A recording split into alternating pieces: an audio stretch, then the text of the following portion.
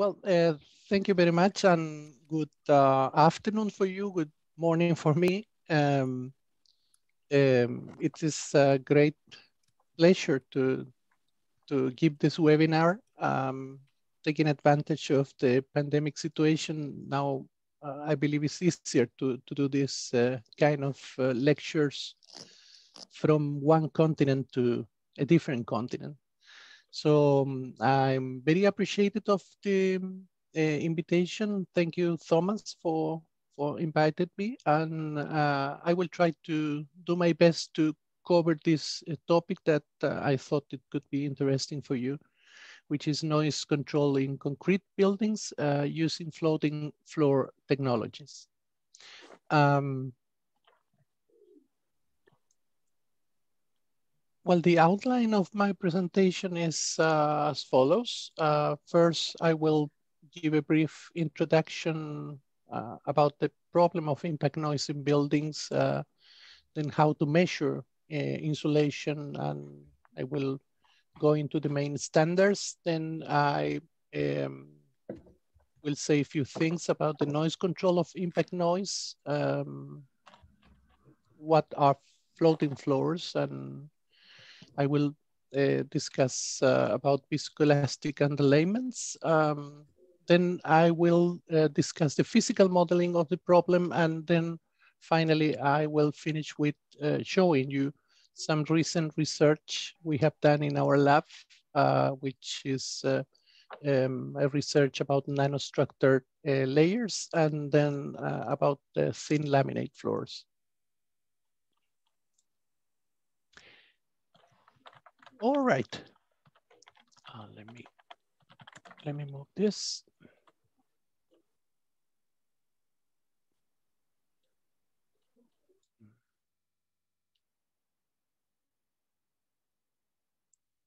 I'm sorry, I have a technical problem here. That is right. Thanks. All right. Uh, well, we have to discuss about uh, concrete uh, uh, buildings, which are a fundamental part of modern societies and uh, reinforced concrete is one of the main materials used in industrialized uh, countries. Uh, important characteristic of concrete buildings is uh, that they are also strong, but uh, flexible and can be structurally designed to overcome large stresses, such as strong winds and earthquakes, which is quite important in my country.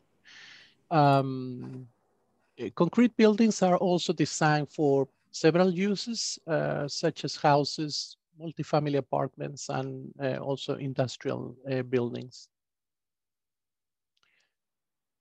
Well, interior noise is uh, currently a competitive quality characteristic of modern apartment buildings. Um, even lack of noise insulation in a building usually causes a reduction in the selling price of uh, an apartment. Uh, in this figure, uh, we can see that buildings are very complex mechanical structures and are subjected to many external and internal sources of noise and vibration. Um, the requirement of lightweight construction in new buildings uh, have made these buildings more susceptible to noise and vibration related problems. Thus, uh, occupants frequently complain about the levels of noise and vibration they experience. Uh, internal sources of noise vibration in buildings are mechanical equipments, um, such as roof-mounted heating, ventilation, and air conditioning units, uh, boilers and elevators. Um, but we also have home appliances, uh, discharge pipes, etc. Uh, the building occupants themselves produce noise in many ways.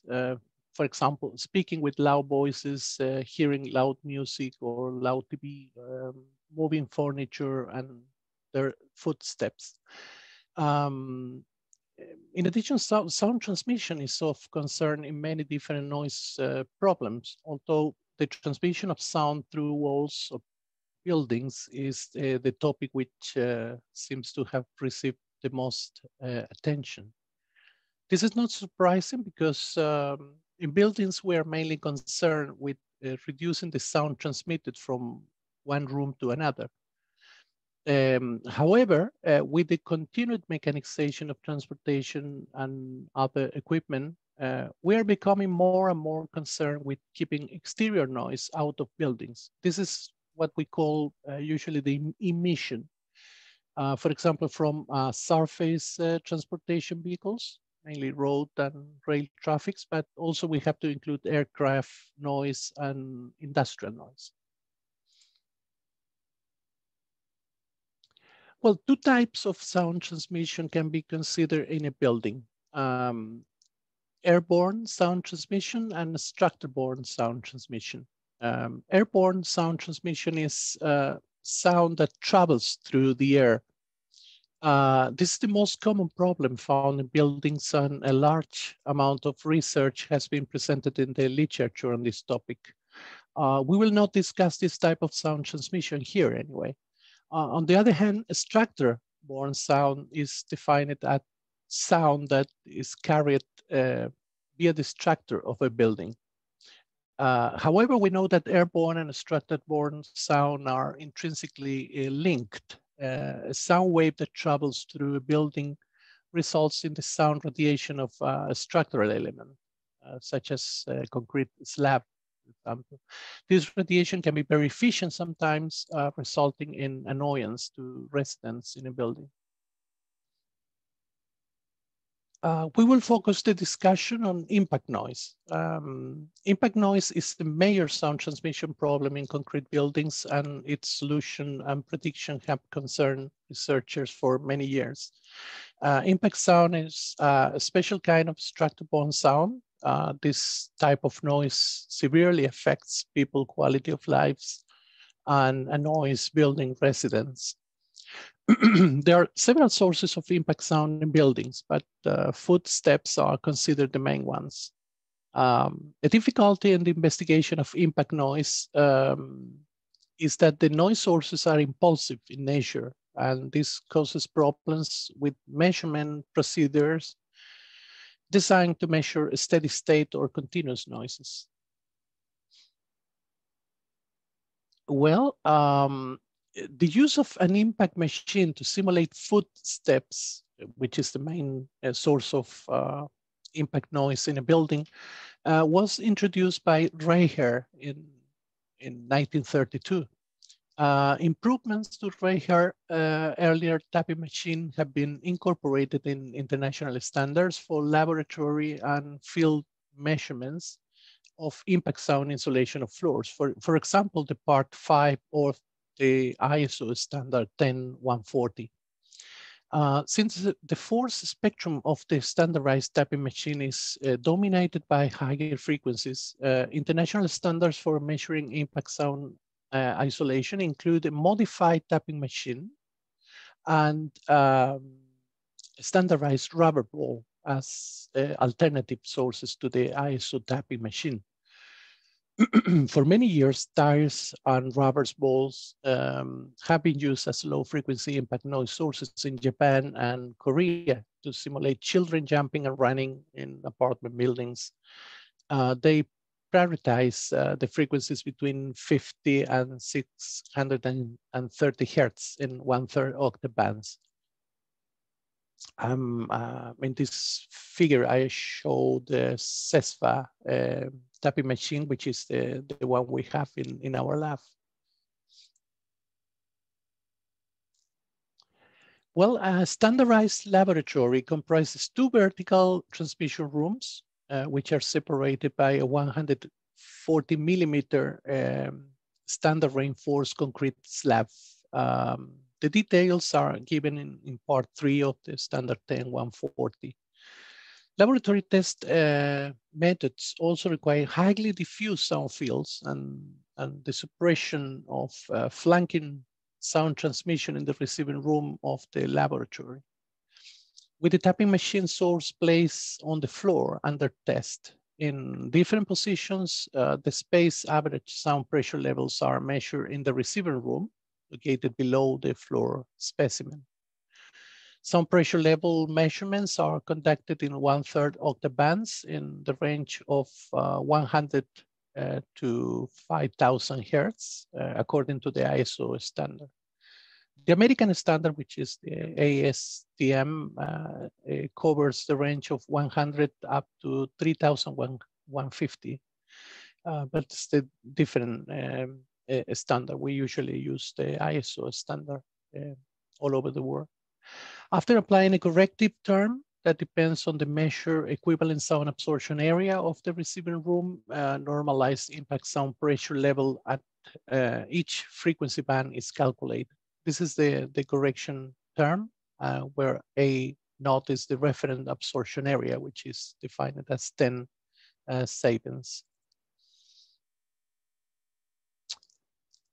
Well, to compare different floor constructions, uh, it is often convenient to use a single number rating instead of the normalized impact sound pressure level, which uh, varies with frequency, of course.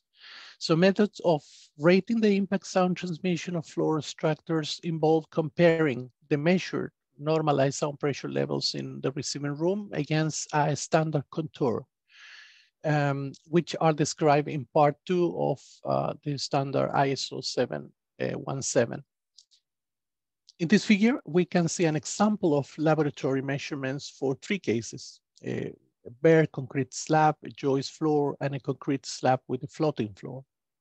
The curves in, in red and in green indicate the standard contours. The procedure yields a single number rating term, the weighted normalized impact sound pressure, um, LNW. Um, the ISO standard also suggests the use of a spectrum adaptation term uh, to deal with low frequency noise. Um, thus, floor structures with lower values of LNW transmit less impact noise.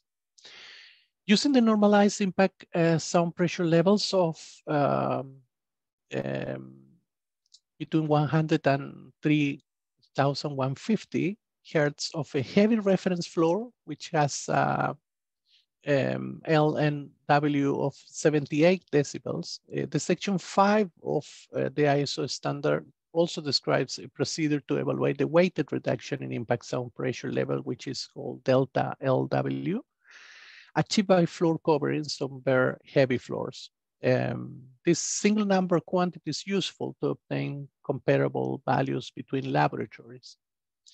Um, also, recommended criteria for impact noise insulation have been presented in several countries, um, usually as building technical codes. Um, some building technical codes include constructional details and recommend floor ceiling assemblies that are known to satisfy the corresponding building code and uh, they have also been checked in recognized laboratories. Well, uh, concrete floors are usually very heavy. We know that and can provide high insulation to airborne sound, but they are usually poor insulators of impact sound. Uh, so in practice, um, increasing the thickness of a concrete slab to reduce impact sound is not uh, economically viable viable, sorry. Uh, the impact insulation uh, of a concrete floor can uh, usually be improved if the floor is vibration isolated in some way. Um, this can be done rather easily by installing a soft resilient layer on the surface, such as rubber-like materials or a carpet with an underlay. Um, but uh, while the use of resilient materials can improve the impact noise insulation of the floor uh, considerably, uh, it has very little effect on airborne sound transmission uh, loss. Uh, if impact noise must be reduced even further, uh, consideration should be given to the use of a floating floor construction um, um, where the floating floor up layer can be supported by an isolated uh, from the structural slab using an array of uh, resilient pads or a continuous uh, resilient layer applied to the structural slab. Um, now I'm going to discuss this uh, uh, latter form of uh, noise control. Well, the figure shows a simple representation of a floating floor. Uh, the floating floor can be physically described as a single degree of freedom system uh, in which the mass is associated to the upper layer and the spring uh, to the underlayment. Uh, therefore, um, a floating floor has a fundamental natural frequency that is determined by the mass per unit area of the floating slab and the total dynamic stiffness per unit area uh, of the resilient support. Um, well, here we have uh, S is the dynamic stiffness and rho S is, uh, of course, the um, mass uh, per unit area of the floating uh, slab. Um, the latter consists of the dynamic uh, stiffness per unit area of the material and that of the enclosed air, which includes uh, the effect of airflow resistivity, for example. Uh, for the floating floor structure to have good subjectively perceived impact sound insulation, the natural frequency, this F naught, uh, should be as low as possible. Um, we know that uh, the natural frequency can be reduced by um, uh, either increasing the mass or decreasing the dynamic stiffness. Um, however, increasing the mass is usually limited by structural or economical reasons. So dynamical stiffness becomes the most important parameter for design. Experimental evidence has shown that uh, dynamic stiffness is closely related to impact sound insulation. This uh, allows uh, theoretical estimation of the impact noise insulation of a floating floor structure in terms of the load to which it will be subjected, knowing only the value of uh, its dynamic stiffness. Um, in order to include the effect of the mass of an homogeneous resilient layer, uh, this term, uh, one third of rho L, may be added to the mass per unit surface of the floating floor up layer, uh, where rho L is um, the mass per unit area of the resilient layer. Uh, this comes from the theory of uh, mass um, spring. Um, as the fundamental natural frequency of the floating floor can be calculated uh, using this uh, new equation.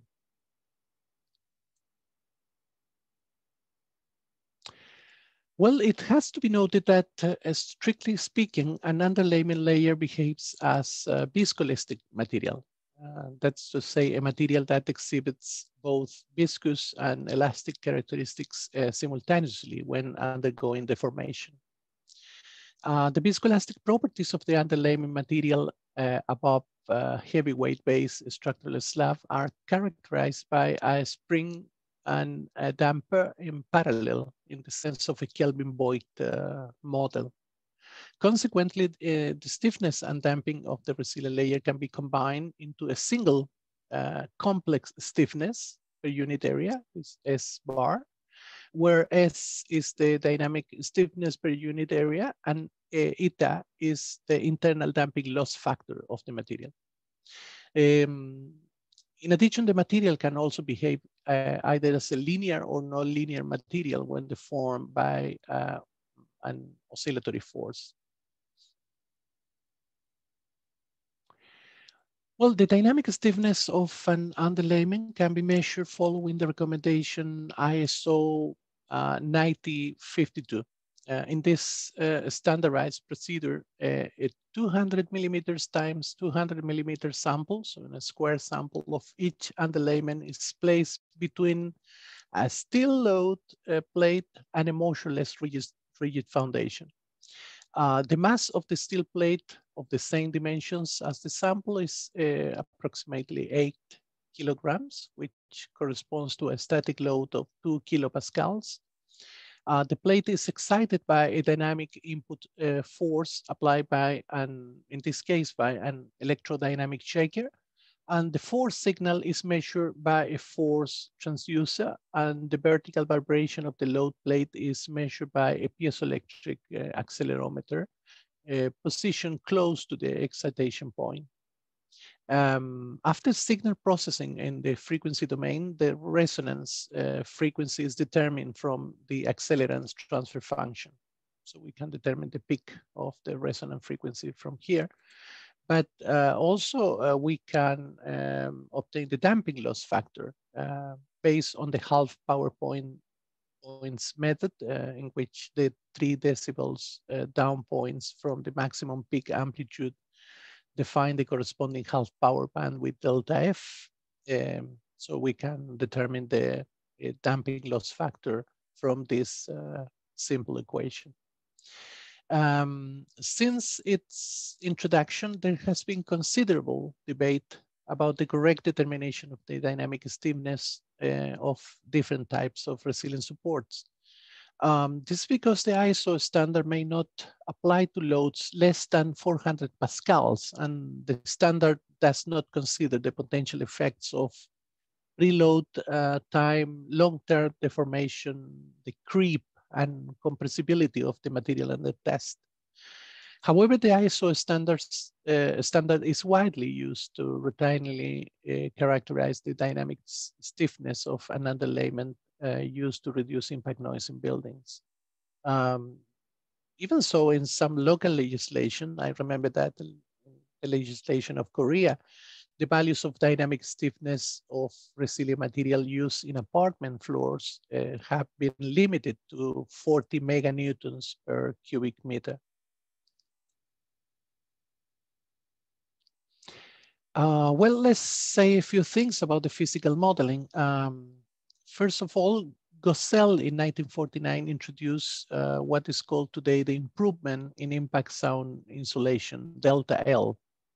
Um, remember that we measured this Ln uh, in laboratory, but we have now a new quantity, Ln not. Um, this is defined by this uh, equation. It represents a comparison between um, the normalized impact sound pressure level measured with and without the floating floor on the concrete uh, slab. It can be shown that when a force is applied to the floating slab, um, a force is transmitted to the structural slab. This transmitted force is the sum of the elastic and uh, dissipation forces acting on the slab. Uh, the transmitted force is also out of phase with the exciting force, uh, but it is simple to obtain the ratio of the amplitude of the forces in the steady state, and that is known as the force uh, transmissibility. Um, using this idea, uh, Alessandro Schiavi in Italy started so stated the so-called constitutive relation for uh, delta L of uh, locally reacting floor, which is given by this equation, uh, where she is uh, the ratio between the external forcing frequency um, and the natural frequency of the floating floor. If the floor is resonantly reacting uh, to fit the empirical uh, model proposed by Cremer, uh, which, which it, that was the first uh, model uh, to, to, be proposed, the constant multiplying factor 10 uh, must be replaced by 7.5. Um, um, in that way, the isolation of such a floating floor increases at the rate of 30 decibels for each decade increase in frequency. Well, this constitutive relation has been proven to predict well uh, the delta L of most practical cases of uh, relatively heavy and undamped uh, floating slabs, um, knowing the dynamic stiffness of the underlayment uh, when it is measured according to the ISO standard.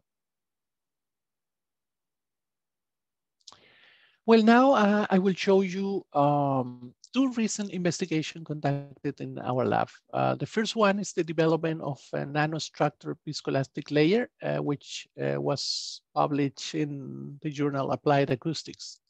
Um, uh, the main objective is to produce a polymer composite uh, filled with the nanoclay, uh, in this case, laponite, in different proportions to achieve a lower dynamic stiffness. The use and production of polymer composites uh, have received much attention in recent years. Uh, we know that new advances in mixing polymers and nanomaterials have proven to be an effective way to optimize the macroscopic mechanical properties of the resulting composites uh, for uh, different technical applications. Um, polymer composites are fabricated by combining a polymer matrix and um, and synthetic or natural nanofillers. Um, such as carbon nanotubes, um, clays, um, nanocrystalline cellulose, and so on. Uh, this composite can exhibit uh, significant improvements in their mechanical properties um, uh, by the addition of small amounts of nanofillers when compared with conventional materials. Um, well, in particular, uh, laponite is a synthetic ectorite type clay uh, consisting uh, of well-defined platelets with a diameter of uh, 25 to 30 nanometers and a thickness of approximately one nanometer. Like most uh, natural clays, laponite forms uh, face-to-face -face stack uh, layer structures of elementary disk uh, crystals. Well, polymer clay nanocomposite samples uh, were prepared using a high-performance polyester thermoplastic uh, uh, polyurethane um, TPU. Um, commercial laponite clay was uh, used as the nanofiller material. The content of uh, the laponite uh, fillers range between 0.5 to 10% for each manufactured nanocomposite. To synthesize the nanocomposite samples, the solvent solution mixes mixing process was used, uh, which um, which included magnetic stirring and ultrasound uh, mixing. Um, well, anyway, uh, this is very important how we synthesize uh, the material. So if you want uh, to see the details of uh, the preparation that can be seen in the paper. Um, uh, well, all resulting, samples were uh, very flexible and semi-transparent and impervious to airflow. Um, in addition, samples that had air microbubbles uh, were discarded for the experiment.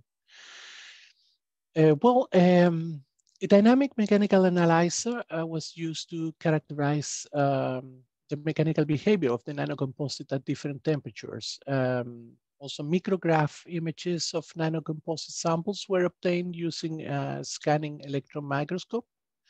And uh, well, of course, the dynamic stiffness of each composite was measured uh, according to the standard uh, ISO 9052, which uh, uh, we discussed a few minutes ago. Um, however, in this case, we use a modal hammer uh, as the impact source. So instead of uh, electrodynamic shaker, we use the modal hammer, which is uh, also valid. Uh, well, this figure shows the experimental results obtained by the DMA. Um, typical curves were observed for the pristine uh, TPU elastomers, uh, in which to the, to the thermoplastic nature of the matrix, uh, composites soften uh, when heated and become more fluid as heating continues. Uh, since uh, 23 Celsius degrees temperature, much above the glass transition temperature of the uh, used uh, TPU, um, the polymer acts in a rubbery manner, displaying large and fully reversible strains in response to applied stress. That's um, all the composite exhibited a rubbery plateau uh, region in the studied temperature range. Um, in general, mechanical damping increase as the laponite uh, filler contents uh, increase over this rubbery plateau. And as a consequence, the viscoelastic properties of the TPU laponite composites uh, would be appropriate for the composites to be used at typical room temperatures. Uh, Obviously, this is not true for more demanding uses such as uh, aerospace application where we need uh, probably work with uh, very high temperatures, for example, or very low temperatures as well. Uh, well, at room temperature, uh, laponite, uh, laponite filler uh, at 5 and 10% concentrations show the highest damping values.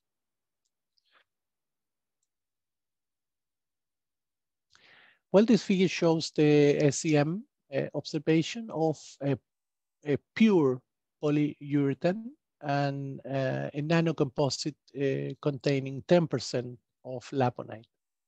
Uh, we observed that the further increase in the fillers uh, seems to cause their agglomeration in the polymer matrix, uh, which is supported uh, by this figure.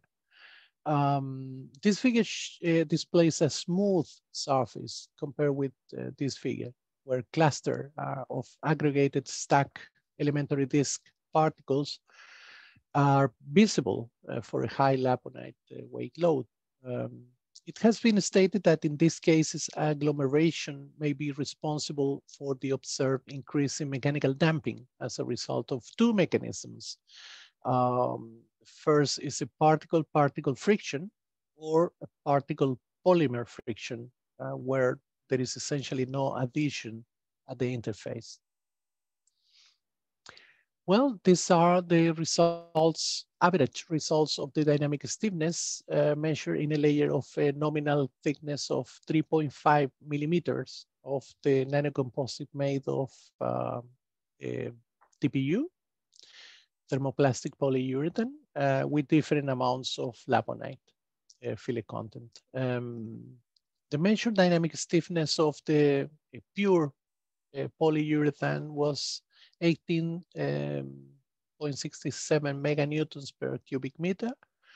Um, we noticed that the nanocomposite with five and 10% uh, of laponite filler uh, reported the lowest dynamic stiffness of uh, eight and five meganewtons per cubic meter, respectively.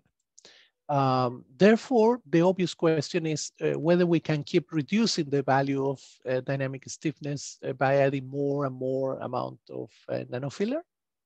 Is that possible? Well, it's not possible. Evidently, uh, the answer is not, we cannot.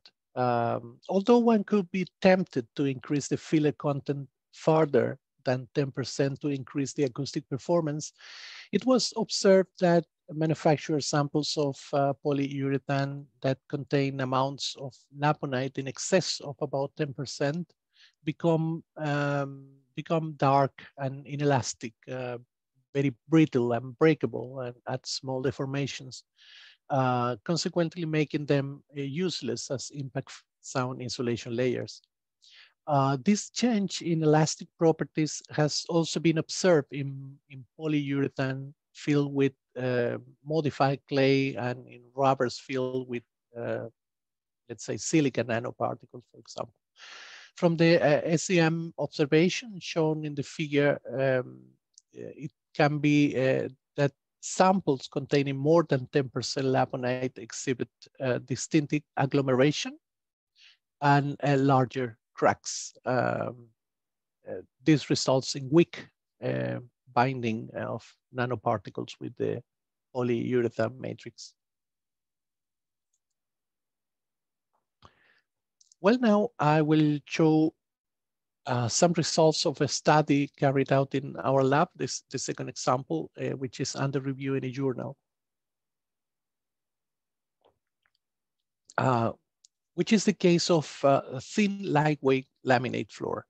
Um, well, since its uh, development in Sweden at the end of the 1970s, laminate uh, flooring has become one of the most common floor surfaces in many countries. Uh, it's not only used in new dwellings and modern concrete multi-story buildings, but also to replace allergy-causing carpeted floors. Um, however, uh, the improvement in impact sound insulation of uh, this uh, uh, lightweight laminated floors uh, has not received much attention in, in the literature. Every laminate floor must be placed uh, under an underlayment layer so the floor rests on top of it. This underlayment helps to level possible minor imperfections of the subfloor slab, which may damage the laminate um, but also acting as a thermal uh, insulator as well as to stop moisture. Um, well, more, more recently, uh, many thin underlayment layers uh, with thicknesses in the range of two to four millimeters are marketed as sound insulation materials, uh, although few of them provide technical evidence about this property. Um, well, this study was aimed to report the improvement in impact sound insulation of a typical laminated floor resting on different commercially available thin underlayment materials um, above a concrete uh, structural slab. Well, we use a total of uh, 13 commercially available resilient materials, uh, which are commonly used on the floating floors in dwellings, uh, where um, they were selected to have a thickness of three millimeters each, uh, except one that uh, had a thickness of uh, two millimeter. Um, among the materials considered uh, are polymers, uh, such as polyethylene, polypropylene, and polyvinyl ethylene acetate, which is usually, uh, usually called EVA. Um, also, we have natural, uh, such as sheep wool, cork, and wood fiber. Um, and also we have recycled materials, uh, such as recycled rubber, uh, recycled textile fibers, and a blend of recycled um, uh, rubber and agglomerated cork, which is uh, this uh, RUB. Um, well, this table shows uh, some of the properties of these layers in terms of uh, thickness, uh, density, uh, the hardness, and, and also a relative cost of each one uh, solution. We can see that this is the cheapest low density expand uh, polyethylene. Um, the more expensive is the recycled rubber and also the cork, natural cork. Well, uh, a 10 millimeter thick high traffic laminate floor uh, was uh, chosen as the floating floor uh, upper layer in this uh, study. Um, the edges of the laminate planks uh, had a tight fitting tongue and groove profile, which allowed a glue-free connection between them. The total mass of per unit area of the laminate was 8 uh, 8.7, 8.68 kilograms per uh, square meter, uh, which corresponded to a static load of, of approximately 86 Pascal. Um, after mounting all the samples in sequence in the standardized laboratory at the same conditions, uh, the results of improvement in impact sound insulation were measured, as well as the single number ratings uh, according to the ISO standards. Um, well, the floating floor uh, has 2.44 meter wide and 4.40 meter long, uh, which uh, results in a total surface of about 10 uh, square meters. Well, this slide uh, shows the experimental results of delta L.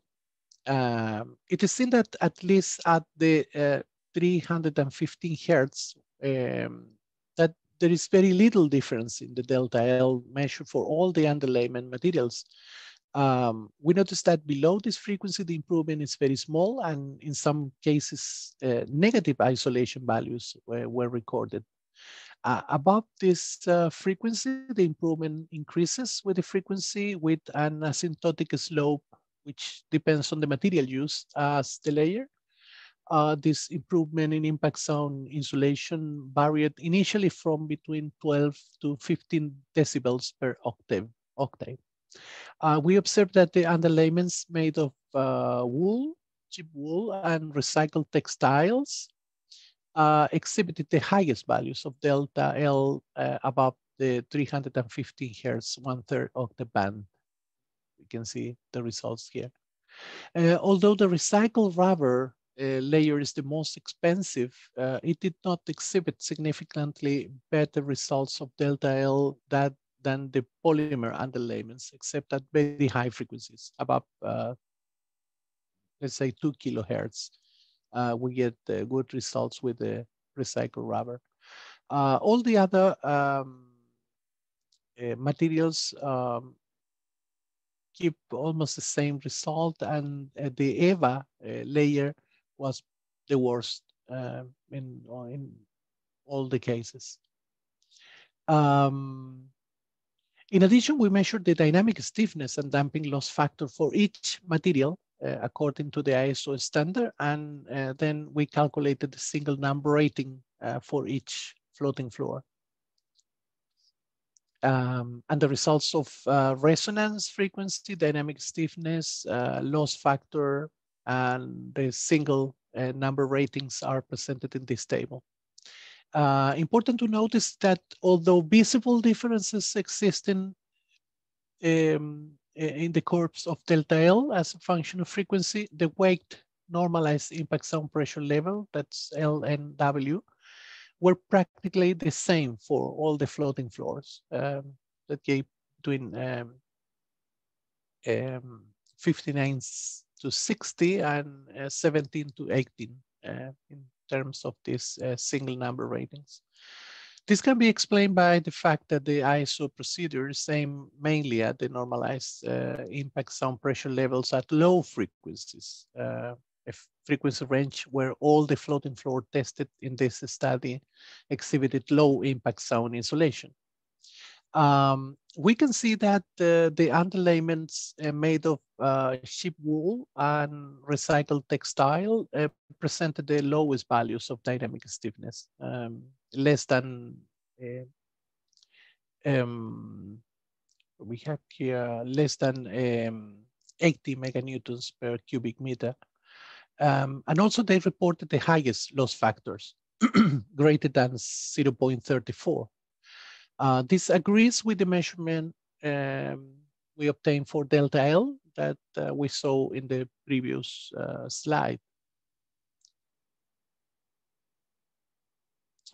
Well, however, uh, the direct application of the constitute model for estimating the improvement in impact sound insulation doesn't work in this case. Uh, in fact, the constitutive model um, significantly underestimate the delta L of these floating floors when compared with laboratory measurements. The disagreement could arise because uh, the dynamic stiffness values of the thin elastic layers were measured using the static load of uh, a standardized heavy steel plate. Uh, so that means the 2000 Pascal, which is not comparable with a significantly less static load produced by the, the like upper laminate floor, which is 86 Pascal.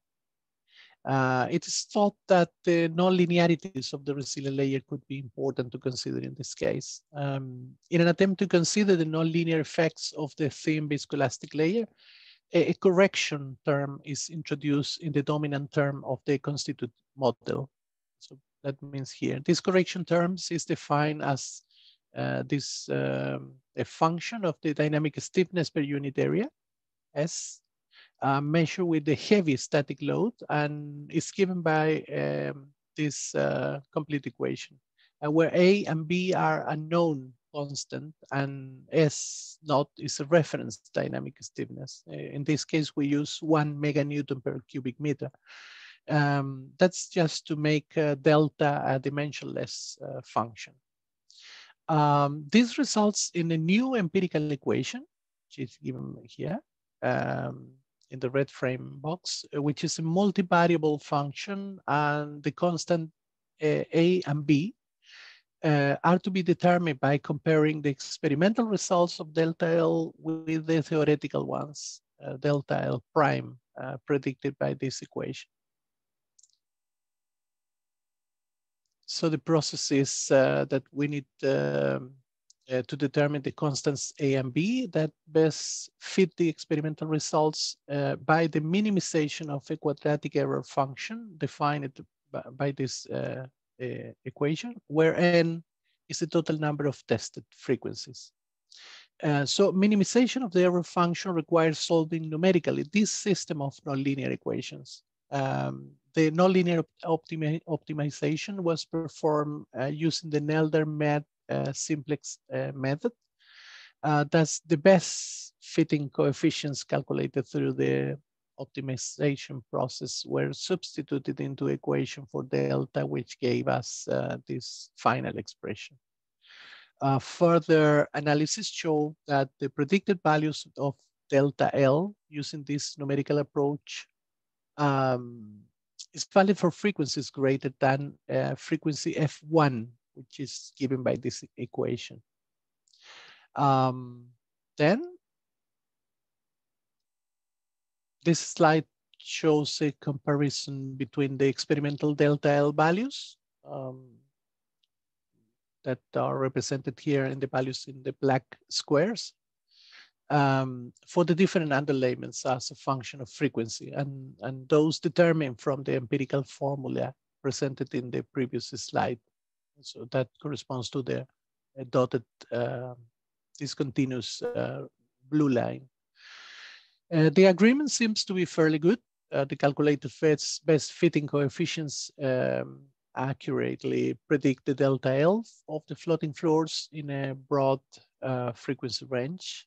Um, although some discrepancies uh, are observed at very high frequencies, uh, uh we think that this formula could be used as a guide to estimate the insulation uh, to impact sound uh, provided by this popular type of flooring um, using the standardized measure dynamic stiffness of the thin resilient layer.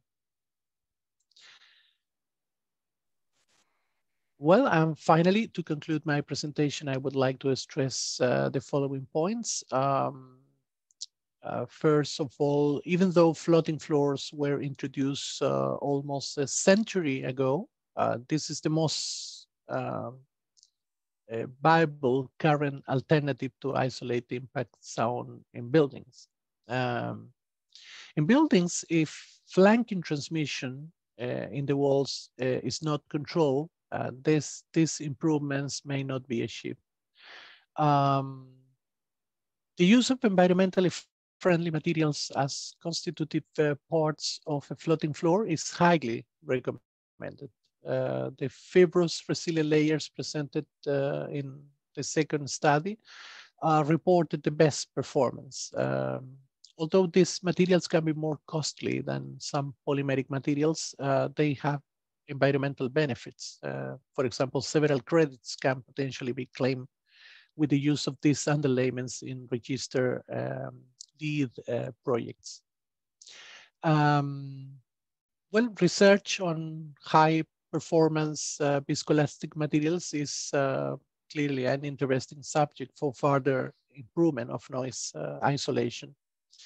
And um, um, well, last but not least, it is important to notice that consideration to noise and vibration insulation during the design and building stages is by far uh, less expensive than taking corrective actions um, uh, once the building is, is constructed.